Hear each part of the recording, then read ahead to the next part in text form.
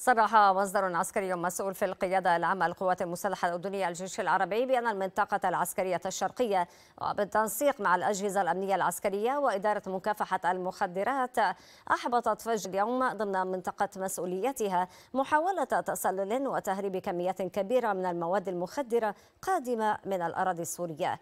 وأسفرت العملية عن مقتل اثنين من المهربين وإصابة آخرين وضبط كميات كبيرة من المخدرات وتم تحويل المضبوطات إلى الجهات المختصة.